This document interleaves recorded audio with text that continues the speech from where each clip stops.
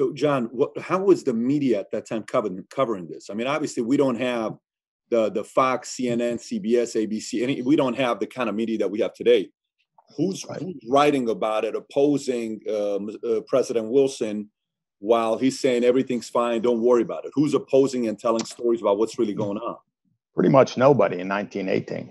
Uh, uh, you know, the the newspapers in the country uh, number one, they were patriotic and wanted to support the war effort. Number two, they had that law that I told you about a minute ago that if you criticize the government, you could go to jail, and a congressman was sentenced to prison. Uh, so, in most cases, in most cities, the uh, newspapers simply went along with the program and printed lies. I'll give you a couple of examples. Uh, in Philadelphia, which was one of the hardest hit cities in the United States, hundreds are dying every day in Philadelphia, probably about 15,000 total. When they finally, and they're using steam shovels to dig mass graves, you literally have priests in Philadelphia driving horse drawn carts down the street, calling upon people to bring out their dead. So when they finally in Philadelphia closed saloons, closed theaters, closed schools, and so forth and so on. One of the newspapers actually said, a direct quote, this is not a public health measure. You have no cause for a panic or alarm, unquote. And yet, people, you know, their neighbors are dropping dead. You know, there are mass graves being dug.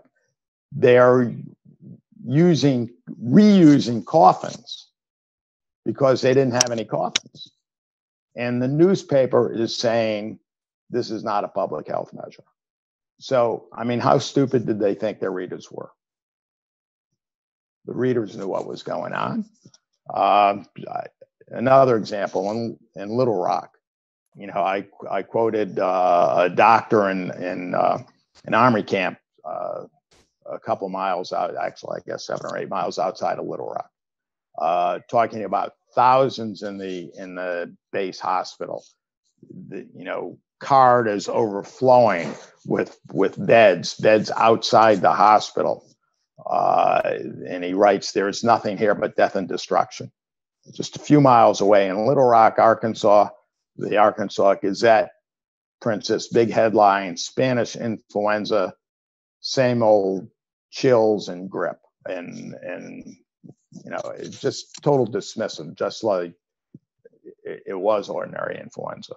Uh, you know th- there are a couple of exceptions. Uh, there's a small city in wisconsin where the uh, newspaper started to print the truth and the army started to institute prosecution against them uh, under that law i mentioned a little while ago.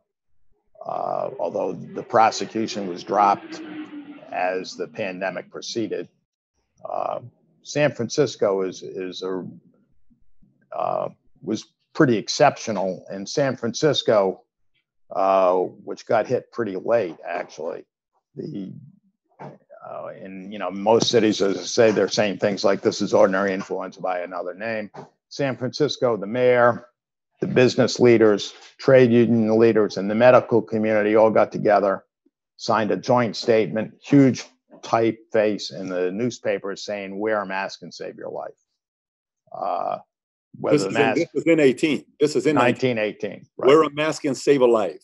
Save, save your life. save your- uh, uh, so that is a very different message than saying this is ordinary influenza by another name, which was the most common treatment of it in, in the press. Or a, a third example in Phoenix, they wrote a little bit about it when the disease erupted in Boston, which was the first place in the United States to get hit by the disease came in waves, and the second wave was the deadly wave. Um, so when it's in Boston, they write a little bit about it in Phoenix. When it's in New Orleans, they write less about it in Phoenix. When it's actually in Phoenix, it disappears from the newspapers.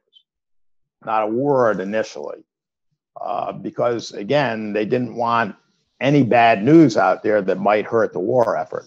Now, eventually, when it was impossible to ignore uh, the Phoenix paper did start writing about it. But again, initially to keep morale up and so forth and so on, uh, they ignored it.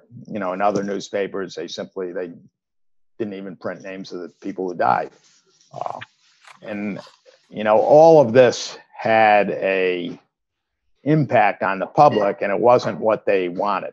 Instead of keeping morale up, it hurt morale more than the truth would have, uh, because people knew, again, their neighbors are dying. In some cases, the bodies are lying in the house for days because there's no one to get take it out, and they and people knew this was happening all around them. They knew that they were being lied to by the by the media and by the public officials, and all that did was alienate them and and cause them to feel that they had no one they could rely on except for themselves. Uh, and, you know, it sort, sort of split society apart.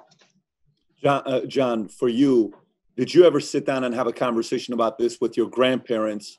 Uh, I'm assuming your parents are probably born in the 20s or, or late teens. Actually, my mother just died at 102 and she was born in 1918. Oh, you got to be kidding me. Wow. Uh, but when I first started working on the book, uh, you know, my grandparents were dead. Uh, but I had a, an aunt who was considerably older than my mother.